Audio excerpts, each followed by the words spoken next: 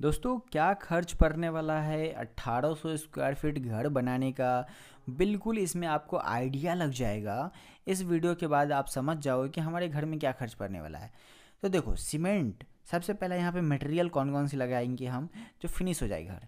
तो पूरा मटेरियल यहाँ पर हम बात कर रहे हैं। उसके बाद क्वांटिटी कितना लगेगा रेट क्या लगने वाला है अमाउंट क्या लगने वाला है।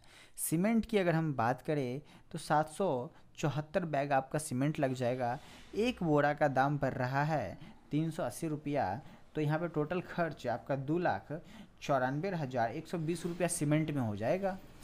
उसके बाद हम बात कर रहे हैं स्टील की। स्टील जो है दोस्तों, आपका चार चार हज़ार पाँच सौ के जी लग जाएगा। पचहत्तर रुपया पर के जी के हिसाब से तीन लाख सैंतीस हज़ार पाँच सौ रुपया का स्टील लग जाएगा। पचहत्तर रुपये के जी के हिसाब से तीन लाख सैंतीस हज़ार पाँच सौ रुपये का स्टील लग जाएगा। आगे हम बात कर रहे हैं सैंड की, जो आपका बालू है। बालू आपका इक्कीस सौ साठ सी एफ़ टी लग जाएगा, जो कि पर सी एफ़ टी बावन रुपया चल रहा है मेरे एरिया में। तो उस हिसाब से एक लाख बारह हज़ार तीन सौ बीस रुपया आपका सैंड में पड़ जाएगा, ठीक है? क्योंकि हम सैंड को सेफ्टी में मापते हैं, इसलिए इक्कीस सौ साठ सेफ्टी ये आएगा। उसके बाद आता है दोस्तों स्टोन या पत्थर या एग्रीगेट या गिट्टी बोल लो तो ये चौबीस सौ बारह सी आता है। आपका ठीक है, अठारह सौ स्क्वायर फीट घर बनाने में चौबीस सौ बारह सी एफ़ टी आएगा, जो कि पचास रुपया पर सी एफ़ टी लगने वाला है। तो एक लाख बीस हज़ार छः सौ रुपया का आपका यहाँ पे गिट्टी लग जाएगा। अगला हम बात करें ब्रिक्स का।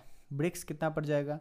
तो ये जो है ईटा आपका ब्रिक्स तेरह हज़ार एक सौ चालीस ब्रिक्स लग जाएँगे, जो कि आठ रुपया के रेट के हिसाब से एक हज़ार एक लाख पाँच हज़ार एक सौ बीस रुपया का ब्रिक्स आ जाएगा।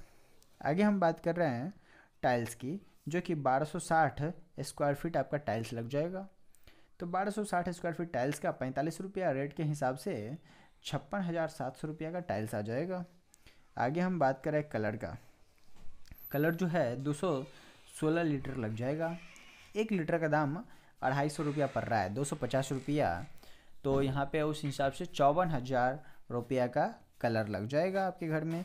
विंडो डोर, प्लम्बिंग, बिजली बिजली का काम, ये सब लेके आपका, हम मान के चल रहे हैं कि एक लाख बीस रुपये में हो जाए, क्योंकि ये सब का रेट काफ़ी ज़्यादा फ्लैक्चुएट करता है। तो लोग अपने हिसाब से थोड़ा कम दाम में भी लेके चलते हैं। इसीलिए, या फिर कुछ लोग हैं जो थोड़ा सा ज़्यादा हैवी लेके चलते हैं। इसीलिए हम यहाँ पे, हम मान के चल रहे हैं कि एक लाख बीस रुपया तक में आपका हो जाएगा। बीस नहीं तो डेढ़ लाख के अंदर में आपका कंप्लीट हो जाएगा, ठीक है? तो थोड़ा बहुत इधर उधर रेट का फ्लैक्चुएशन होता है। लेबर का अगर बात करें तो ये तीन सौ पचास रुपया पर स्क्वायर फीट के हिसाब से आपको फिनिश करके जितना भी मटेरियल है, ये आपके घर में लगा के फिनिश करके जो कि आपका रेट लेगा। तो ये आपका छः लाख तीस हज़ार रुपया आपका ले लेगा मिस्त्री, ठीक है? लेबर मिस्त्री जो होता है। उसके बाद हम बात करें इंजीनियर इंजीनियर कितना ले लेगा?